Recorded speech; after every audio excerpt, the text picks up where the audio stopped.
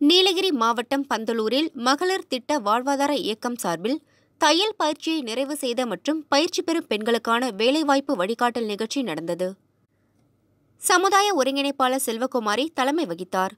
சுற்றுச்சூழல் மைய பொது செயலாளர் சிவசுப்பிரமணியம் ஏகம் ஃபவுண்டேஷன் ஒருங்கிணைப்பாளர் ரவீந்திரன் தையல் ஆசிரியர் சுலோச்சனா ஆகியோர் பெண்களுக்கான வேலை வாய்ப்புகள் மற்றும் அரசு திட்டங்கள் குறித்து விளக்கம் அளித்தனர்